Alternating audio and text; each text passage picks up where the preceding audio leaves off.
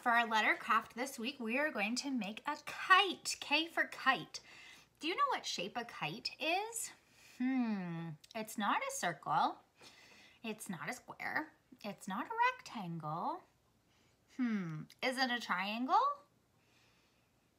Maybe. It does have a point at the top, doesn't it? Hmm, it's called a diamond. So the first thing we need to do is draw a diamond before we can draw a diamond, we have to get out our materials. We're going to need some scissors, some string or some ribbon if you have some, a piece of white paper or construction paper if you want, and some coloring materials, and a pencil. Not sure if I said that. So once you have all of your materials, then we are ready to go and make our kite.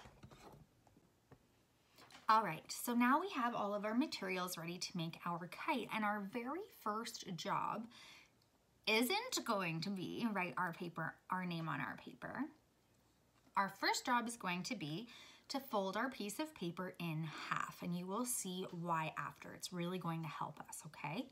So right now my paper is the long way, not this wide way, okay? So I'm going to take the top of my paper and I'm gonna fold down to the bottom, okay?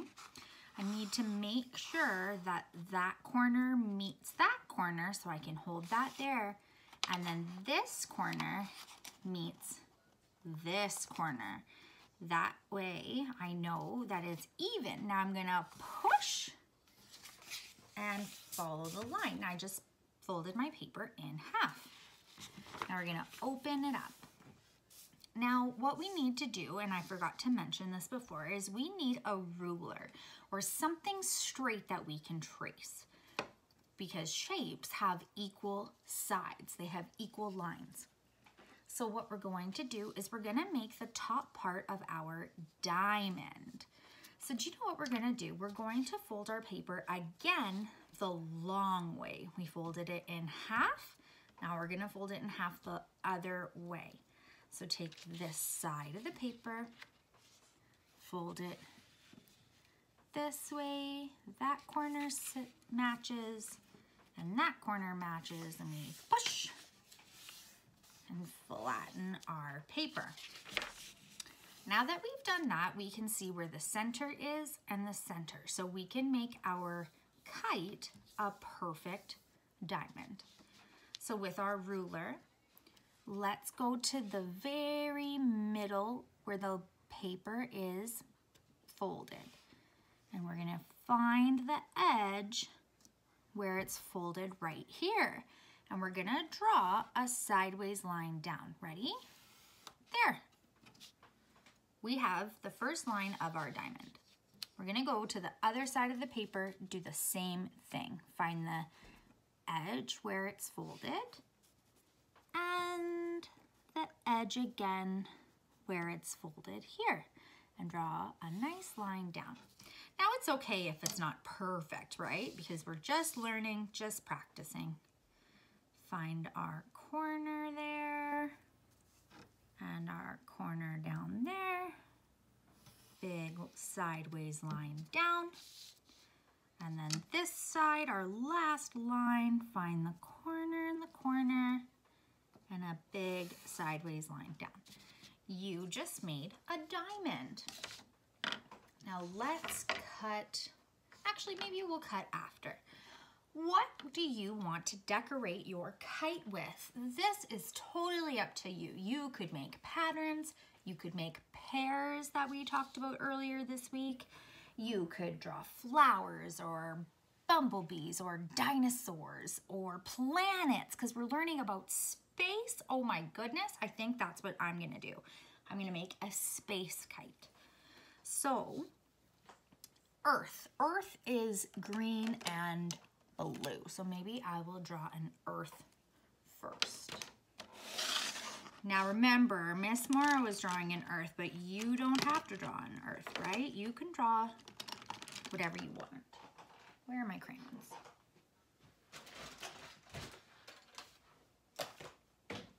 There they are. All right, so Earth. Earth is a big round circle planet. Perfect. And it's got land. This is all the land on Earth. There we go. And then when there isn't land, there's water. What color is water? When we color it, it's blue, right?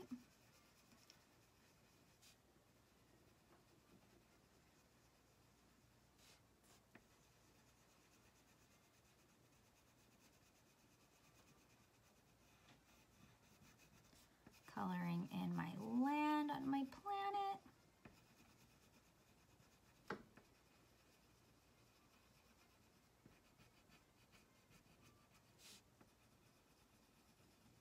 Perfect. Now we have to draw color in the water.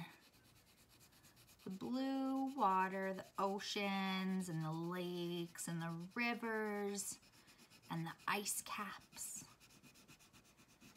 The big pieces of ice. There we go. Perfect. What else is in the sky? What else is in our solar system? How about the sun? The sun is the same shape as a planet, right? It's a big circle. So start at the top, magic C, backwards magic C. And I can have my sun rays.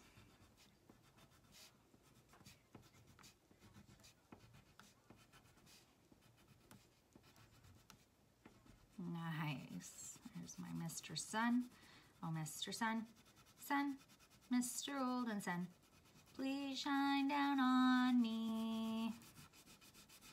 I don't know the rest of the words to that song. I should maybe learn that, hey? Do you know that song? More sun rays. It's a beautiful, big sun. There we go. Sometimes suns have orange in them too. We could add some orange. Whoa, yeah, that's a really hot sun. There. Perfect. All right. What else do we have in the sky? Hmm. There's a planet called Saturn, and Saturn has a bunch of rings around it. I wonder if we could draw Saturn. Okay, now I'm going to be creative and make up the color of Saturn because I'm not exactly sure, but I know it's a circle. And then it has cool rings around it. So, hmm, let's do green rings, okay? So it has these rings that spin around and around and around and around the planet. Really neat.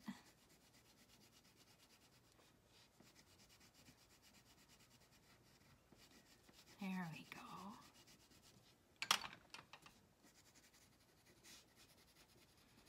Okay, what else do we have? We have beautiful stars in a night sky, right? Maybe I'll do some stars over here.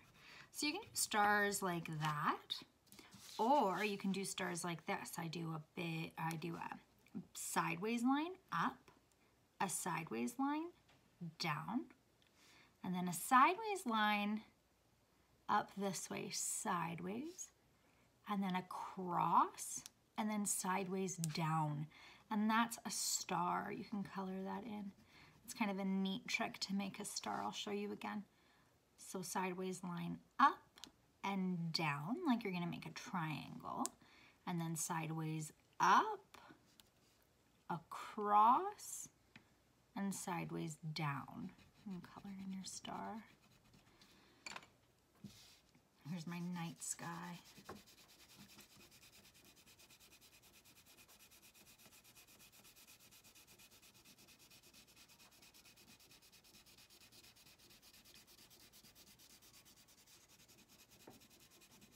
Very cool. Oh, what else? We could draw our alien that we made earlier this week. Our little alien in a spaceship. So how did we do that again? Do you remember? We drew a circle. And then we drew our spaceship. So our spaceship is a sideways line down on one side sideways line down on the other side, and then Matman smile, a big curve for his spaceship. You can draw a little alien inside. Give him. hey, maybe this guy can have three eyes too. One, two, three. Oh my goodness. That is a funny alien. There we go. Don't forget his lights on his spaceship.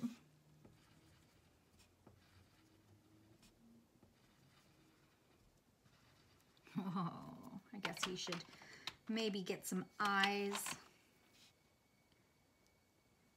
Some eyeballs, I mean, some pupils so we can see. There we go. What about a smile?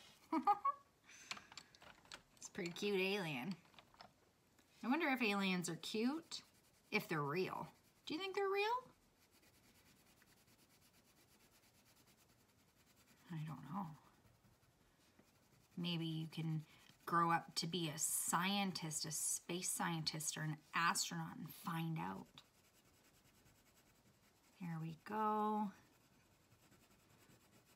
And the last thing I'm gonna put on my kite up in space is the moon. We can't forget about the moon. And I'm gonna make it blue. And it's gonna be a crescent moon, not a full moon. It's gonna be just a little bit. There we go.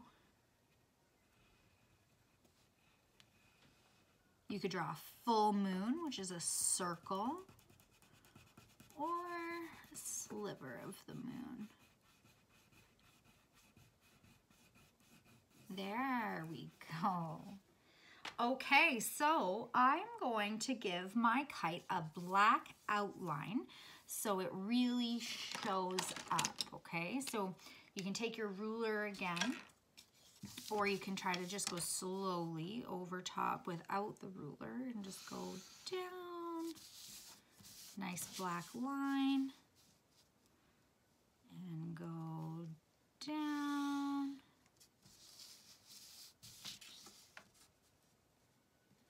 And go down. And go down. Now, making the kite is a really, really tough job, so don't be frustrated if you need to ask for help, okay? Remember to stay calm and just use your words, ask for help. We're just learning how to do these things, so sometimes it can be a little bit tricky. So now that we have our kite all done and traced, we're going to cut off the white extra pieces. My helping hand is moving my paper. My cutting hand is moving up and down, chomp, chomp. Last one. There, now we need to put our name on it. We can put our name down on the bottom or the other side. It's up to you.